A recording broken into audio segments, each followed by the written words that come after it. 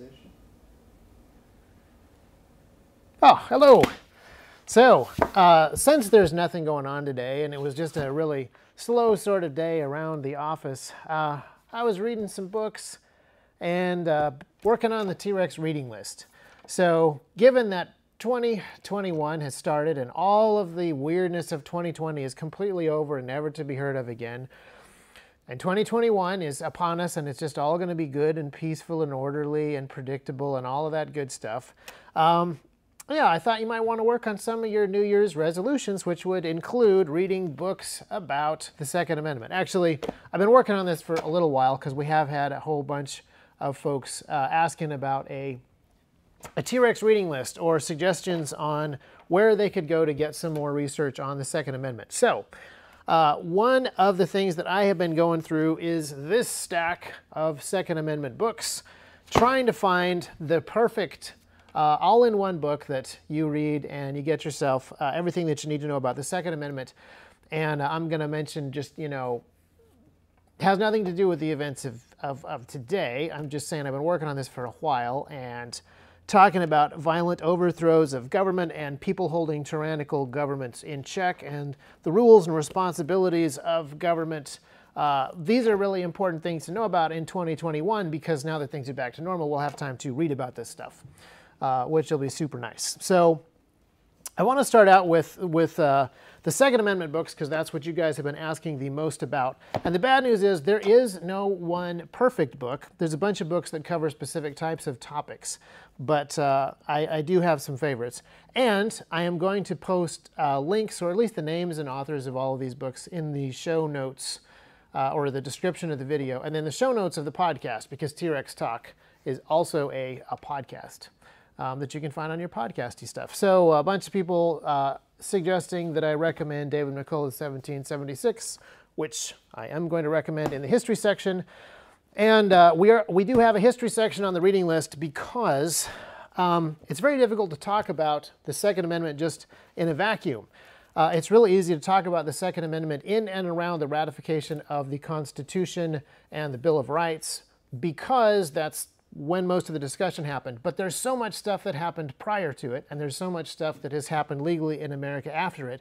Uh, nothing today, of course, nothing related to the Second Amendment is happening on January 6th. But, you know, for the last uh, hundreds of years, uh, we've, you know, been various things developed related to the Second Amendment. So I want to shout out uh, this first book here. This is probably your best starting point, that every man be armed um, by Stephen Halbrook. And this book starts prior to uh, America being founded, and it talks about a bunch of the different ideas that have floated around throughout civilization about private ownership of weapons prior to the founding of the United States, prior to uh, the American Revolutionary War.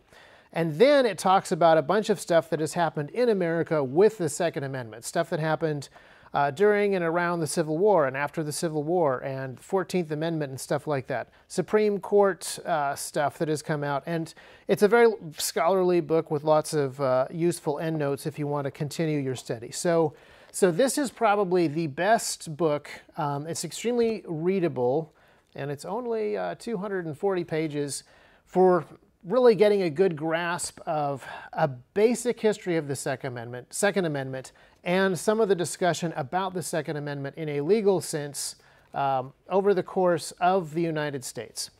Now, he also has, uh, Stephen Halbrook has another book called The Founders' Second Amendment.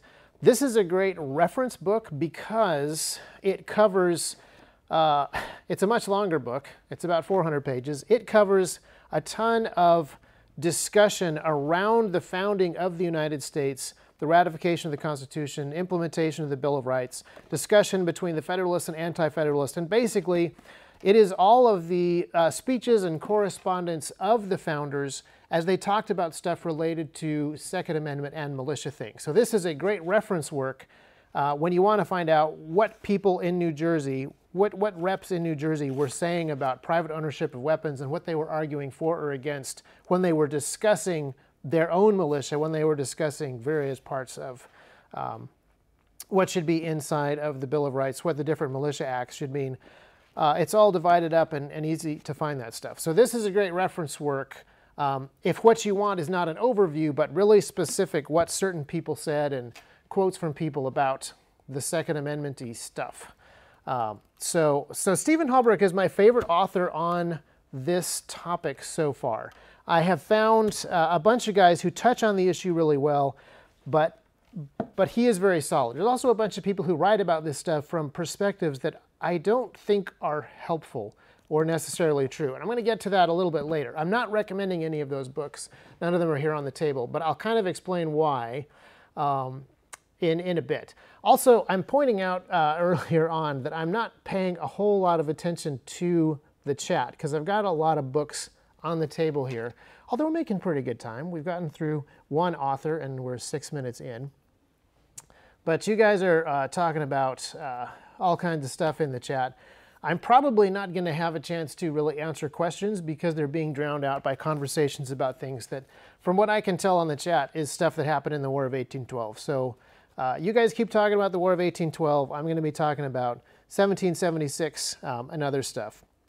Uh, another good book, this is actually probably even a more entry-level book than uh, That Every Man Be Armed. Um, this is a book by an author named John Paine, who is um, somebody that I don't know, but he knows us because he mentions T-Rex arms in the back of the book. Um, but this is a book which is called the Second Amendment Manifesto, what every American should know about their constitutional right to own guns. I should have done a better job of writing all of this in my notes. Um, this is a very entry-level book, um, but it does a great job of providing, I, I say entry-level in a good way, it does a great job of providing an overview of weapon rights, um, the second chapter is the 2,000 year history of the right to bear arms in 15 minutes. And uh, it's, uh, it's quite good.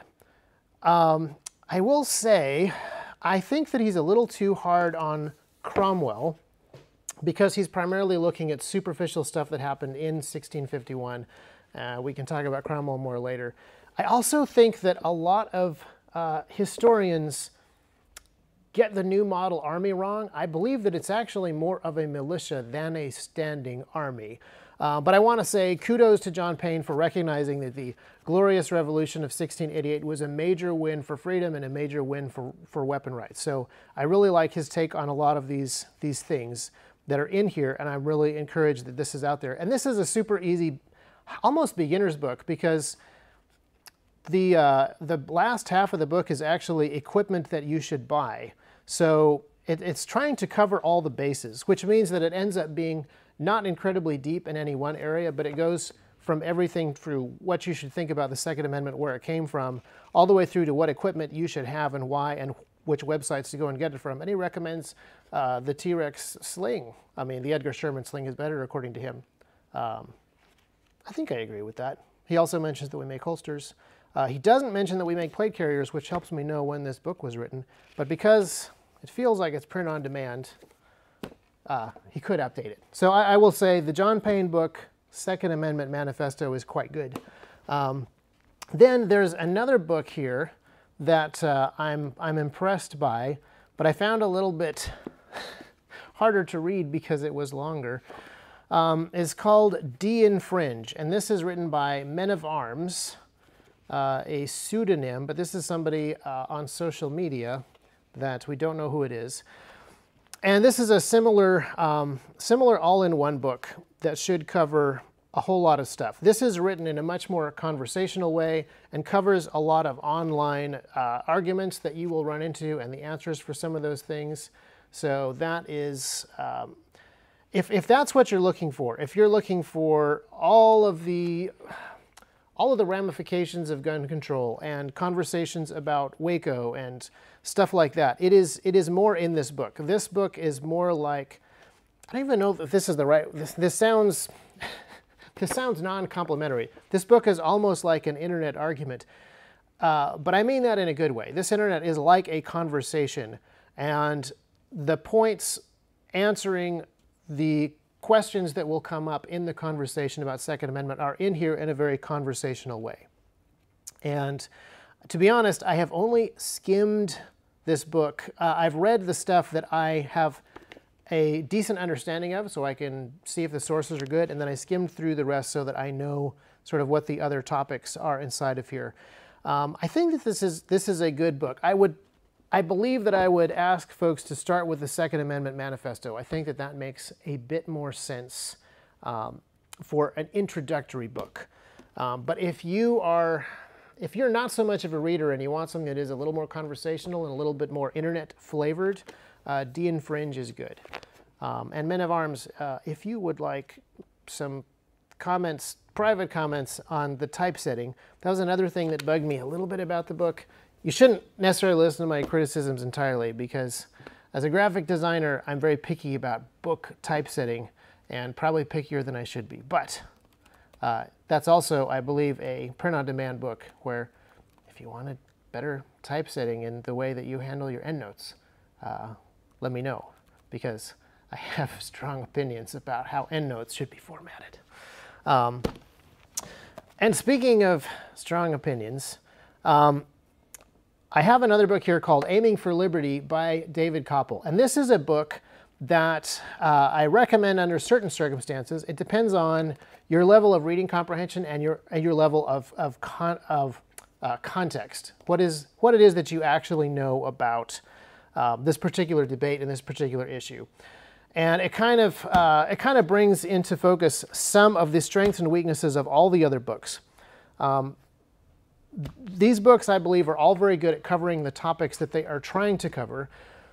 But the issue of limited government, uh, or the issue of private weapon ownership, is tied so intrinsically to limited jurisdictions of government and whose job it is to enforce those limited jurisdictions and how governments should actually be set up and all of the histories of Western civilization uh, as different countries and different cultures have attempted to set things up and all the different philosophers that have weighed in on this and all the different politicians who have quoted different things and what their actual influences are. It is a mammoth topic to cover. And so the fact that none of these books cover the entirety um, of that discussion is not surprising. It's also not a failing. But I want to get back to um, David Kopel's book. So David Kopel is uh, a gun rights attorney. He made a bunch of the arguments at the DC versus Heller case. I believe he was the guy who was most quoted by uh, the justices who wrote the actual decision. So David Kopel is a guy who's been in the Second Amendment fight for a while, and this is a book that is, it's almost less of a book and more of a collection of articles, and some articles are, are better than others. So for example, he has an, uh, a chapter in here called Religious Perspectives on Freedom from the Ancient World, where he goes through uh, ancient Israel in the Old Testament and the way that their militia was set up and the limitations that were placed upon the king and the history that is there. And that is a fantastic chapter. He even goes into, and I think this is very important, he even goes into uh, the founders of the United States that quoted from the Old Testament and wanted to pull some of these ideas into the founding of our own country. Um, and the pastors that were preaching at the time from the Old Testament on these issues of limited government.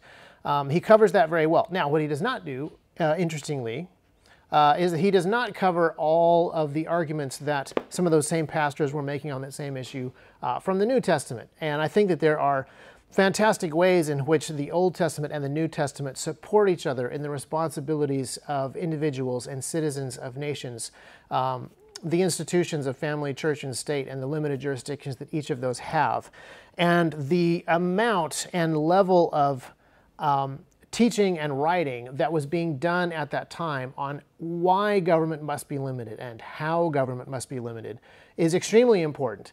And he actually does a better job of touching on that than any of the other authors in, in this particular stack, except for Holbrook. I think Holbrook does a pretty good job of that in this book, just quoting the founders in the uh, Founders Second Amendment book.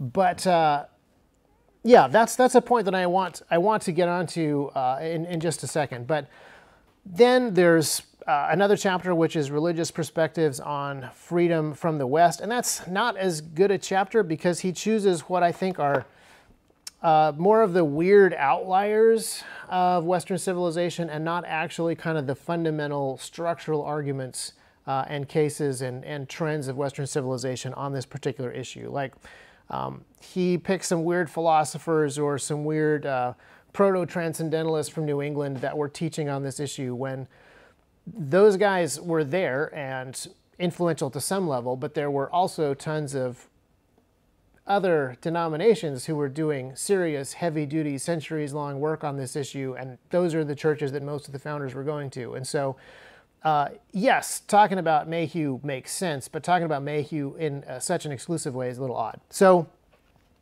I would say this is a very interesting and helpful book. He has articles, uh, or he has chapters in this book that again feel like articles, which um, are fascinating. Like what gun freedoms look like inside of other countries and the results thereof, like stuff that's happening in Uganda right now, stuff that was happening in Sudan uh, at the time that the book was written, which was right before the secession of South Sudan and uh, the genocide that was happening there at the time. So there's a bunch of stuff that is in here that um, is really interesting, fascinating stuff that's not in other books on the Second Amendment, but is directly related. So I would say this is a book that is absolutely worth reading, but if you have the context to make up for its, uh, its shortcomings. So that is, um, yeah, so that is a, a, a recommendation. All these books get a recommendation, but none of these books are a read this book, nothing else is required. Then you will know everything that you need to know to navigate the world that you live in beginning on uh, January 6th of 2021, the year that the world went back to normal and nobody had anything else to worry about. That's, that's what historians are, are absolutely going to write when they write the history books about 2021. That's going to be the title of all the books. Um, yes, so uh, there's a bunch of people in the chat still talking about the War of 1812, I'm assuming. Uh, a bunch of people wondering why I'm not talking about the events of today. Well, obviously, it's 2021, everything's back to normal. What could possibly be talked about uh, when it comes to current events? But also because um, we are live streaming this on YouTube. YouTube has political opinions and agendas and requirements for certain live streams, and I would like this one to stay up. So I'm not going to talk about the events of today, but if you're paying attention, you will realize that I'm talking about events of the past that are remarkably similar to the events of today. And the issues that our forefathers were dealing with when they talked about limiting the scope of government uh, is incredibly important, not just today, but all the time, because people don't actually change. People are corrupt and evil, and so that's why government is needed uh, to deal with lawbreakers. But government has to be limited as well because it's going to be made up of corrupt, evil people also, because that's just how people work. And people don't change and haven't changed. And so these issues that we are discussing are timeless, and history has a lot that, um, that we can learn from. Uh, T-Rex, are you worried about our Second Amendment in the future? Oh, absolutely. There is something that I call, um, well, I'm not sure I'm allowed to use some of the words that I like on YouTube anymore but let's just call it moral entropy. Uh, you know, the second law of thermodynamics says that we basically are losing, um, you have to work really hard to overcome entropy. There's something called moral entropy, uh, where basically you have to fight very hard to be moving in the right direction. And cultures have to do this as well. If you are not moving in the right direction and you think you're just coasting, you're actually going downstream the tendency of people and the tendency of governments is in the wrong direction, and it takes a lot of work to go the other way. Requires people to be willing to uh, work and sacrifice for freedom, uh, but also to have really good definitions of what that work needs to look like, what sacrifices are acceptable, and what freedom even is, which is the whole point of the T-Rex Arms reading list. Um, that's why we're talking about this today and not some other time. Uh, we're talking about this today because um, because it's 2021 and you guys uh, have New Year's resolutions that you need to keep that involve reading more books. That's why we're talking about it today. No, no other reason at all. Uh, I actually feel like with all these book recommendations, I should be wearing my tweed jacket and smoking my pipe.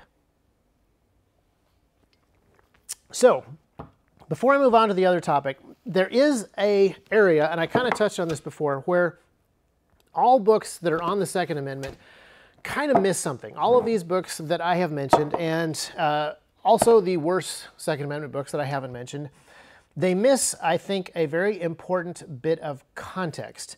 And I mentioned it a little bit with this, uh, this book of David Kopel's. I hope I'm pronouncing that right. I should have done a little bit more research, but I wasn't actually planning on giving this particular talk today. Um, although I don't know why I wasn't, because obviously it's 2021, the year of everything being back to normal and everybody having time to read books. Um, the issue is uh, one of context. Modern historians have perpetuated the idea that the American founders were far more motivated by Greek and Roman philosophy than by their Christian heritage. That's been pretty much accepted throughout the 20th century.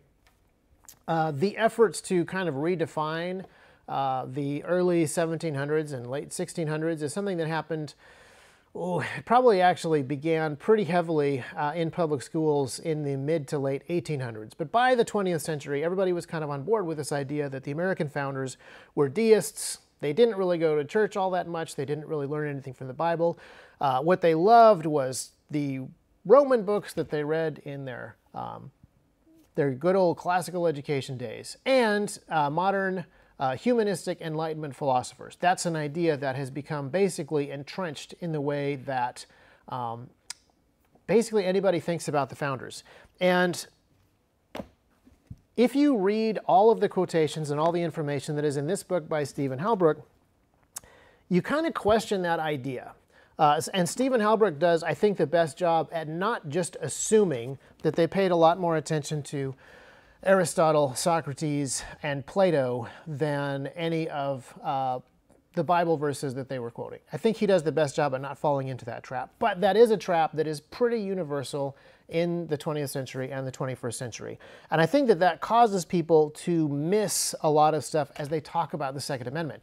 There's this idea that the Second Amendment comes out of classical thinking, uh, medieval scholasticism and not out of a scriptural tradition, or that it comes out of the um, secular enlightenment that was basically happening at the same time, but in a different continent by people who were diametrically opposed to what the founders were trying to do. So it's sort of problematic to actually um, make this claim. I've, I've talked to people directly who are uh, I've had direct conversation with people who have made the case that, oh, no, no, the ideas that you're talking about did not come out of the Bible. They came out of um, Thomas Hobbes' Leviathan, or they came out of Plato's Republic. That's, that is where the founders got all of their ideas. That is where the founders got the idea of national, uh, natural law. That's where they got the idea of limited government. It's like, dude, have you ever read Thomas Hobbes' Leviathan? It is not about limiting government. It is about removing as many limits of government as possible so that government can be as all encompassing a sovereign as possible so that people can't get away with anything at all. There is no way that the American founders read Thomas Hobbes' Leviathan and said, This guy has some fantastic ideas. Let's have. Um, Let's have the right to keep and bear arms. Let's have the right of free speech. Let's have the right of a free press. Because that is exactly the opposite of what David Hobbes wanted they were getting the ideas for free speech, um, private property, and the ability to keep and bear arms so that the government could be resisted from somewhere else that was not David Hobbes. There are other Enlightenment thinkers who were less statist than David Hobbes, but they were getting that idea from somewhere else. And they were not getting that idea from Plato's Republic either. Um, Plato also wanted a very large, uh, tyrannical, centralized government to keep an eye on people and to educate people so that people's problems could be solved by a giant top-down government. Um, which is the exact opposite, again, of what our founders wanted. They wanted a very limited government. Our government was founded on the idea that government cannot be trusted. So we're going to break the power up among as many branches as possible with as many checks and balances as possible. And there's going to be a Bill of Rights that says there's a whole bunch of stuff that the government just plain old is not allowed to do. Our Bill of Rights limits the power of the government. It does not limit the power of the people. The people who wrote that document were trying to limit the power of the government. They were not trying to do what Thomas Hobbes wanted. Um, now, it is true, I don't want to argue uh, that um, our founders were not familiar with Cicero and Plutarch and Julius Caesar and Marcus Aurelius and classical thinkers. They were, absolutely they were. They read those books, they'd read Shakespeare, they were reading stuff from Enlightenment philosophers of the time, um, for sure. But that doesn't mean that they were picking up on all of those ideas. That's like you guys saying, well, you're reading these books, you're on board with all these ideas. No, not necessarily. I think that each one of these books, uh, as I recommended to you, um, has a lot of meat that is good stuff. And some of these books have some meat and have some bones. And the better context you have for history and for truth, the better job you're going to do at benefiting from the meat and not choking on the bones. And I think that our founders were, for the most part, people who were very good at that. Now, obviously, I'm talking about uh, hundreds and hundreds of people over decades. So I'm not, I shouldn't generalize like that. But if I did have to generalize, I would say that the religious beliefs of the time uh, had a far greater effect on what it was that they were trying to accomplish and what it was that they were willing to fight and die for and spend their lives and their fortunes and their sacred honor on than Tacitus or Aristotle's Ethics and Politics, which again, diametrically opposed to what they actually ended up building um, here in the United States. So uh, I, let me see if I can think of a, a better example of this. Um, I should stop looking at the chat because the chat is highly distracting. You guys keep talking amongst yourself. How many people are watching, Charles? We got uh, 1,300. Okay. 1,300 people watching this instead of the nothing that, uh, that is happening today. There's, that's, that is right, isn't it, Charles? There's nothing happening today? Uh, I haven't seen a, a, thing. Yeah, well, I mean, it is 2020. It's the year of everything getting back to normal. Uh, sadly, the year 2020 is not the year of season three of The Mandalorian. So that's my example. So you guys may have heard me say in previous uh, places, weapons are part of my religion, which is a quote from, I think, season one of The Mandalorian. Um, it's a cool quote from a decent show, uh, but it's actually a true statement.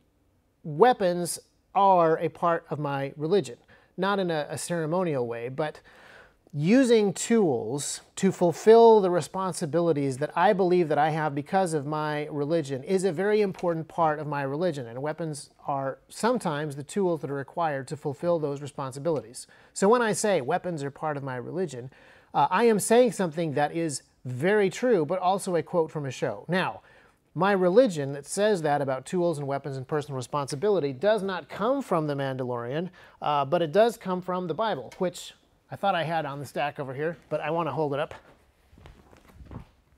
So when I say weapons are part of my religion, I'm getting that from the Bible, and then I'm quoting the Mandalorian. And I think that there's a bunch of times uh, in, in the writings of the American founders where they will quote Shakespeare, or they will quote Milton, or they will quote Caesar, or they will quote Cicero, but the underlying fundamental theological reasons for thinking the way that they think is what they've been brought up on religiously and theologically, which is far more Christianity and far less uh, Greco Roman philosophy. Um, but they do generally talk in a lot of that lingo or quote those things in the same way that we often quote Star Wars and Marvel around the shop. Uh, Disney does not create uh, as much of my worldview as you might think based on how often I quote Star Wars.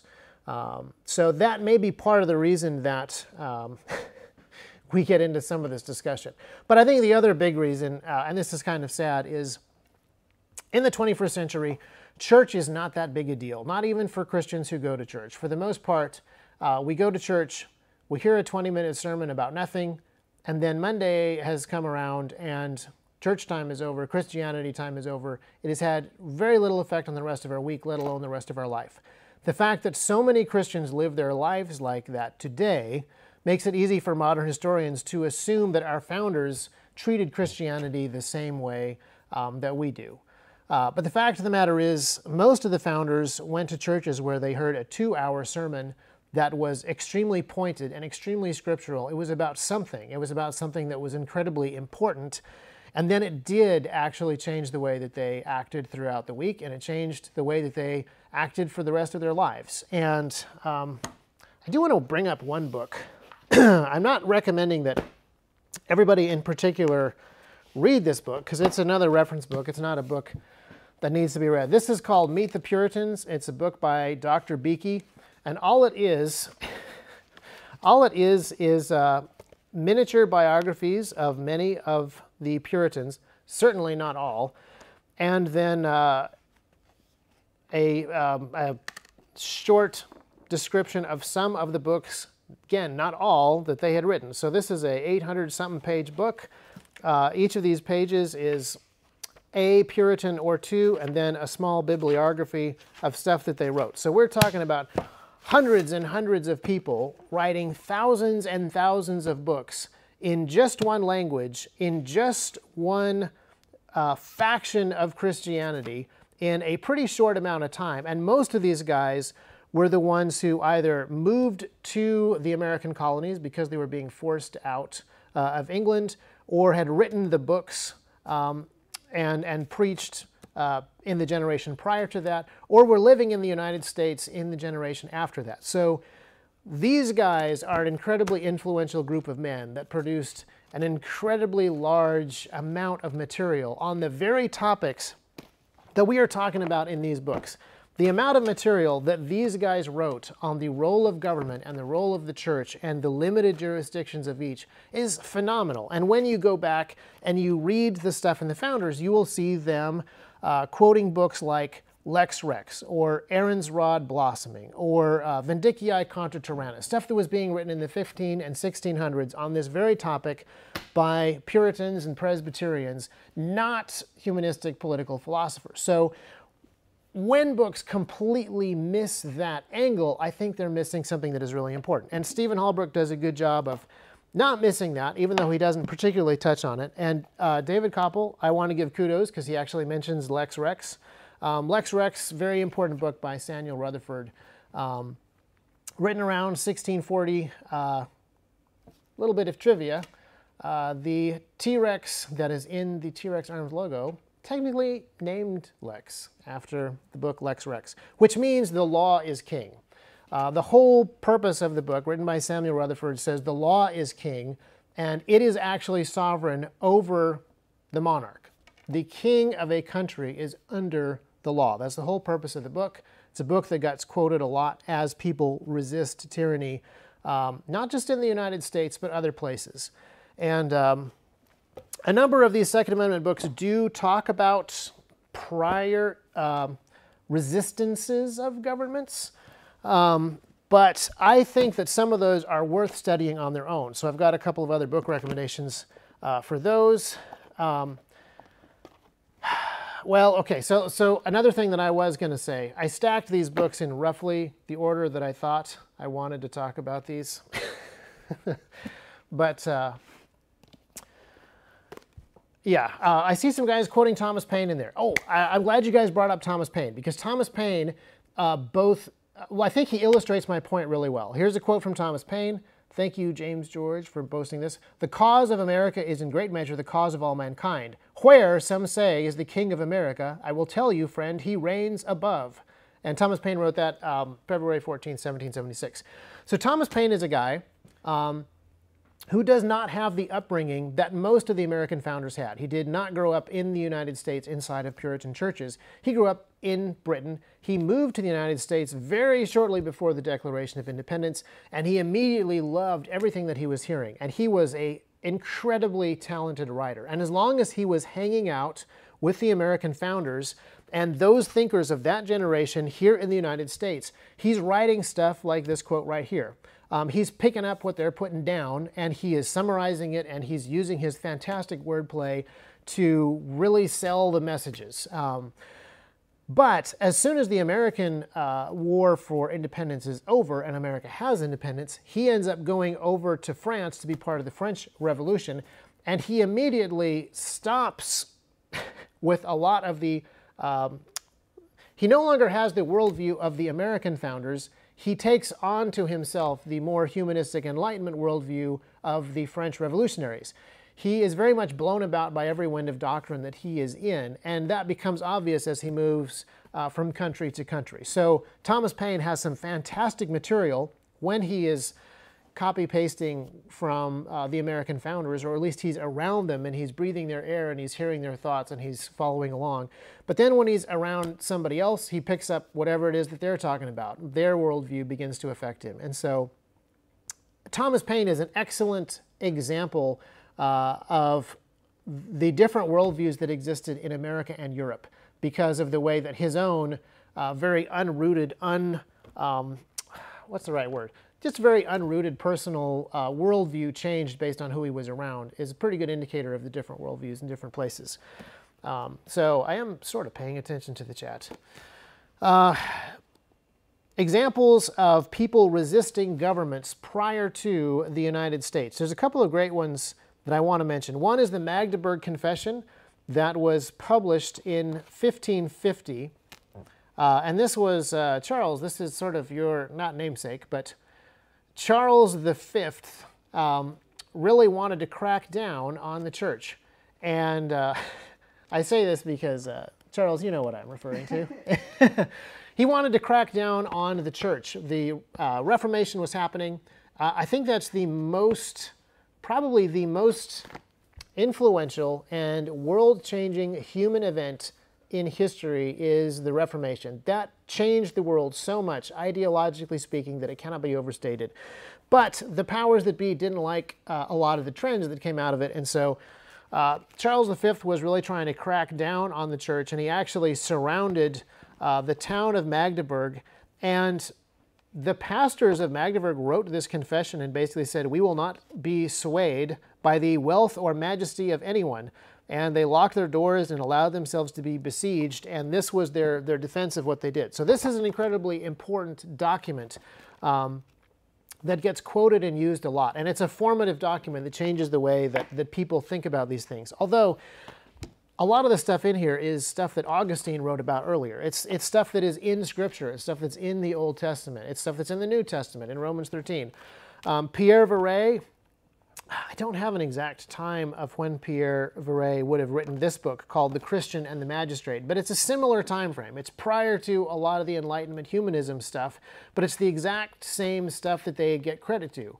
Uh, get credit for this this idea of the government being limited and men's freedoms and rights being given by God, and then delineating exactly what those are, and the way that the magistrate needs to serve the people, and the magistrate actually has a job to um, interpose himself the lesser magistrate interposes himself to stop the greater magistrate. So when a king is acting in a way that is illegal, it is the lesser magistrate that must stop and arrest him. And if he won't do it, then the next lesser magistrate needs to address it, all the way down to the people if necessary. So uh, Pierre Viret was a French, uh, and this is another good example. It's not just the English Puritans that had this idea. Uh, I just happen to have this book on English Puritans because if it were all of the people of uh, similar theological ideas, uh, this book would be too big to print.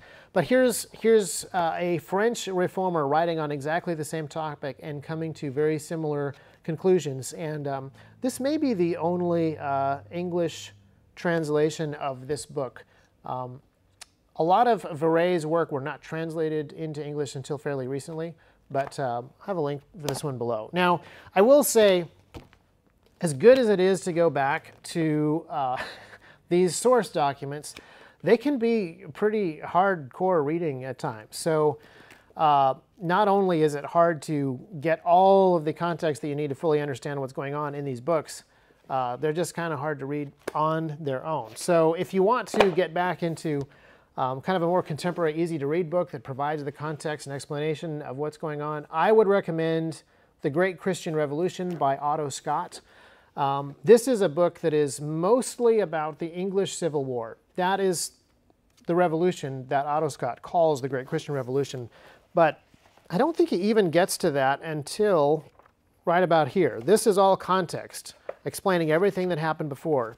And then afterwards, he talks about everything that came out of the English Revolution, everything that came out of Cromwell's New Model Army, the way that they resisted the king, um, how that changed things in Europe, how that changed the way that everybody thought about government, um, the things that happened afterward with William and Mary, and then, of course, the things that happened afterward with George III.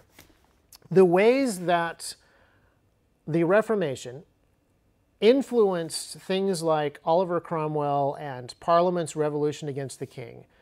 Um, that is incredibly important history. And the way that that English Revolution uh, affected the way that we American colonists thought about our responsibility before George III is extremely important. When the American colonists resisted a tyrannical king, they did not think that they were doing a strange, abnormal, problematic thing. In fact, they thought that they were the ones doing one of the most British things imaginable, which is to stand up against a tyrannical monarch. This is something that people in Britain had done and had good documentation and good precedent for. And so resisting George III is no different than resisting James II or resisting Charles I. Uh, these are things that British civilians had done with force of arms in the past, and we were just doing it again in the colonies. So that is an extremely important thing to understand. So I highly recommend um, this book. Otto Scott also has some great history books on the French Revolution. Um, Robespierre specifically, he has some on uh, the collapse of South Africa. Very interesting stuff. Some of it's hard to read. It's he writes about pretty brutal history and he writes about it pretty uh, uh, pretty honestly. So just you know, a lot of those guys didn't end well uh, Robespierre and his buddies. So um, I recommend Otto Scott for, for the things that he is, is writing about. And um, when he writes about the collapse of nations, it's sort of unpleasant, but uh, possibly stuff that, that we might need to be knowing about and thinking about in the future. Not the year 2021, of course, because the year 2021 is the year that everything went back to normal. Right, Charles? Yep. Back to normal. Yes. Everything is fine. Everything is back to normal. Um, but uh, just in case things don't go quite back to normal, well, no, actually, if things go back to normal, uh, the war on guns will continue. So this is a pretty good book. This isn't necessarily a description or overview of the Second Amendment. It's by John Lott Jr.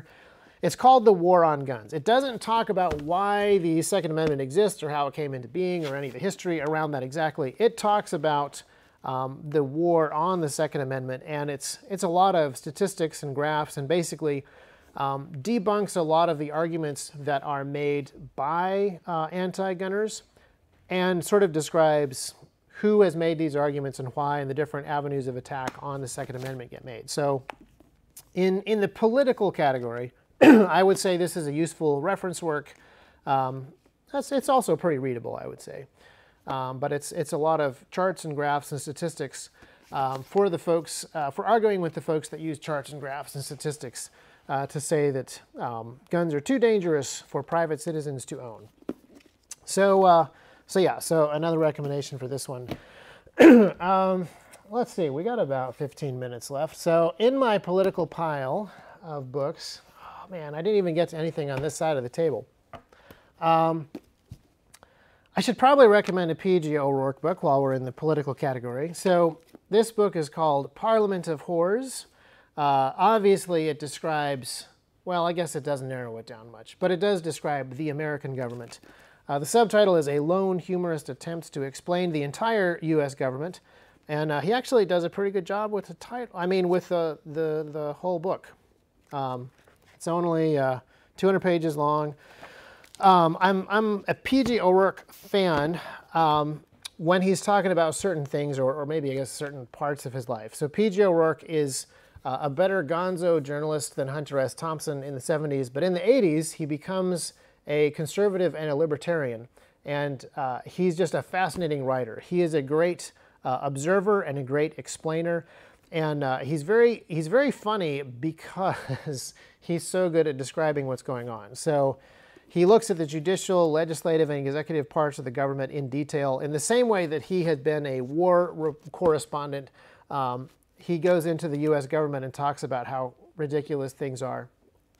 And uh, so this is this is actually an extremely readable book, and I think worth looking into. He also has a book on environmentalism called All the Trouble in the World, and he has one on international conflict, which is called uh, Give War a Chance. So I think that's also a, a, book that is that is worth reading. They're not.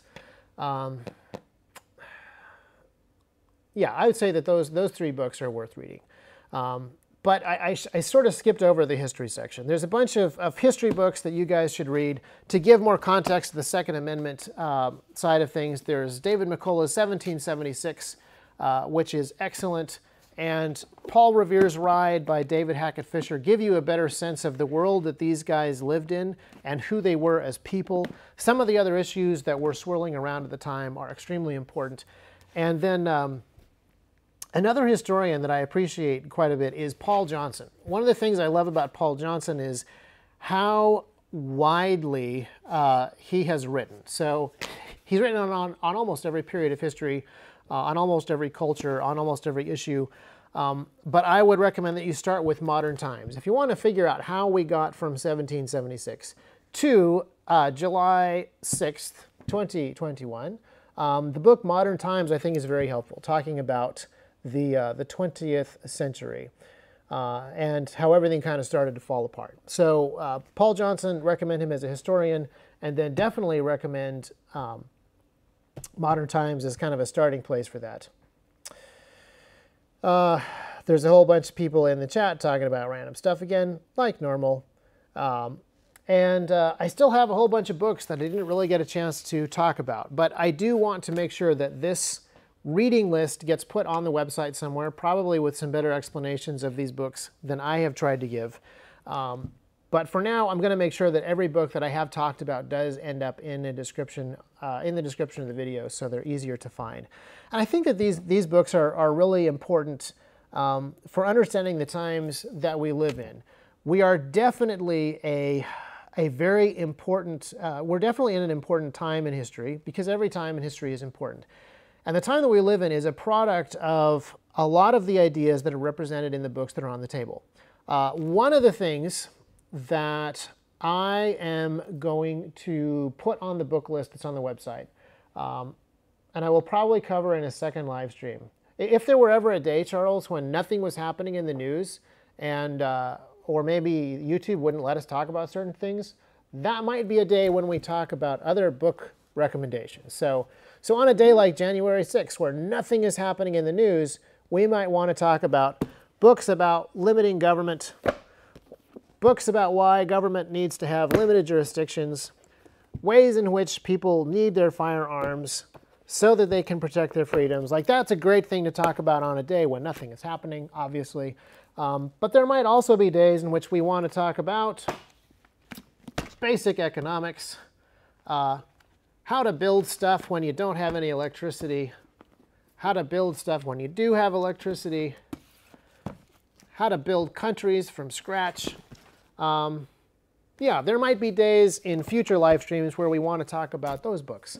Uh, but one of the books that I do think that I want to talk about, uh, I would like to have a rogues gallery of books. I would like to have books like some of the Saul Alinsky books. I think I'd like to have uh, Machiavelli's The Prince, The Communist Manifesto, stuff like that, because I, I, also think that it's important that we know what the enemy is talking about. We know what the opposition is saying. We're familiar with the ways that they work.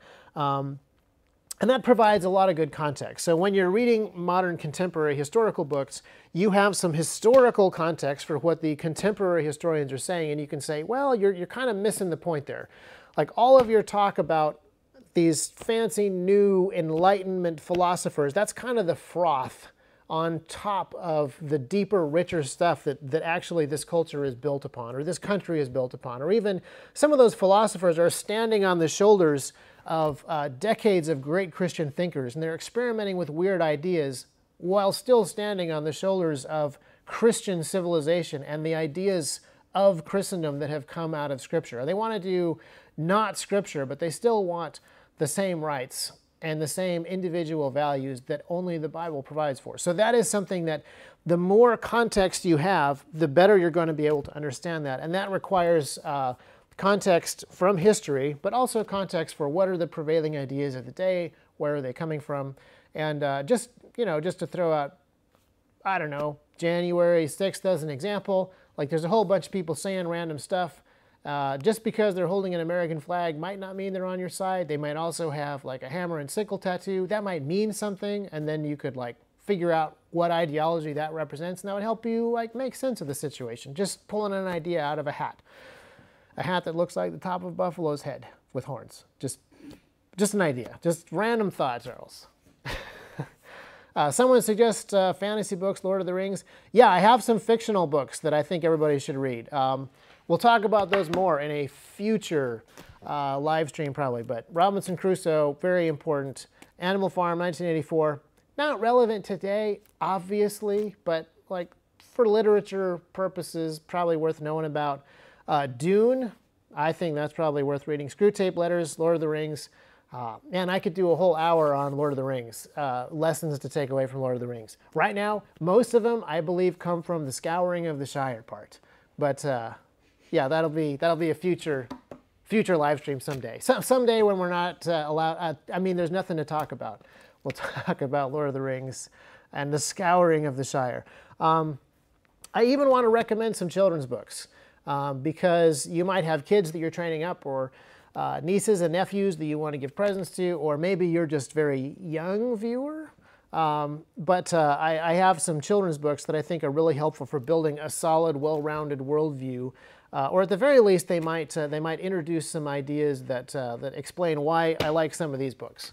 Um, so that is something that uh, is extremely um, yeah, that'll, that'll be on the, the trexarms.com book list. And maybe we'll get to it in a future, a future live stream. If, if there were ever a day when there was nothing to talk about, like January 6th.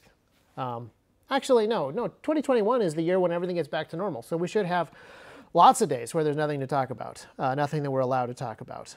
Um, I also was thinking, Charles, about having, in addition to the rogues gallery of stuff like uh, Communist Manifesto, which is bad, but stuff that you should know, uh, I almost want to put together a blacklist of stuff that is bad, but so bad you shouldn't even read it, like hardcore heretical stuff. Yeah. Uh, that would be kind of interesting, except for the fact that maybe, maybe people would read it just out of curiosity and.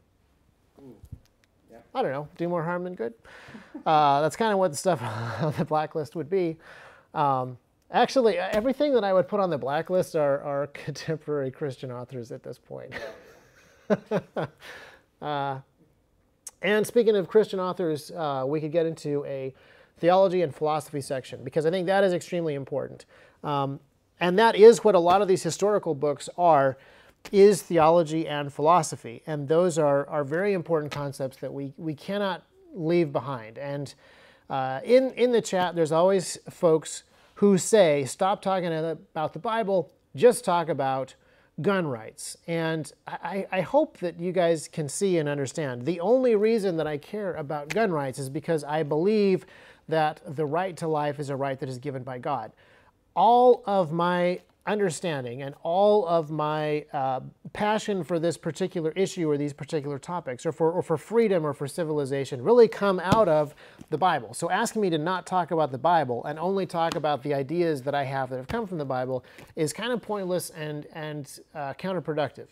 Um, except for the fact that uh, a lot of times I get onto a rabbit trail and end up talking about something that is several steps removed from the Bible. So um, that's where I want to finish this particular live stream is if there's only one book, a lot of you have asked for the one book to read about the Second Amendment. If you're truly, legitimately only going to read one book, it should be the Bible. And there's a bunch of um, philosophy and theology books that I would say only read them after you have read the Bible. Um, they will make far more sense to you once you have read Scripture. And uh, that's a higher priority anyway. So that is something that is extremely, extremely important. Uh, I cannot overstate that. Even though there's a bunch of folks in the chat saying the Second Amendment is not founded on the Bible, uh, obviously those guys missed the beginning of the stream. But the good news is they can go back and watch it, and uh, they can also listen to it on podcast. So uh, I'm, I'm, actually really curious to see what the further comments and feedback of this will be. But uh, because this is in fact um, the beginning of 2021, the year when everything goes back to normal and you have plenty of time to read books. Uh, I'm really glad that we were able to get to the T-Rex Arms recommended reading list uh, of stuff that you should know, starting with the Bible, Second Amendment history, pre-Second Amendment history of weapon rights, human rights, um, the idea that government is limited, why government must be limited, who must limit government. Um, these are tremendously important uh, things for us to understand, uh, even on January 6th, a day in which nothing happened. Uh, according to Google and YouTube, uh, I'm not allowed to talk about anything that has happened, so that must mean that nothing has happened. Uh, yes. Constitution is not founded on the Bible either. Um, again, man, go back and read what the people who wrote the Constitution were talking about when they were ratifying it, when they were going over different drafts of it.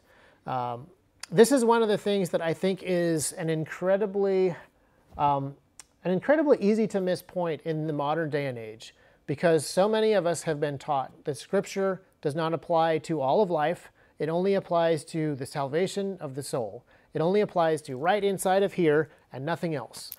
And if that is true, then the idea that the founders were motivated by the Bible when they wrote a document that founds an entire national government, of course it is preposterous. But if the Bible does speak to all of life, then the idea that people who were raised by generations of Christian pastors would have been affected by the Bible in the way that they wrote a document that follows scriptural principles in limiting the government's power and authority, well, yeah, then, then that idea is not crazy. That idea is very logical and hard to argue against.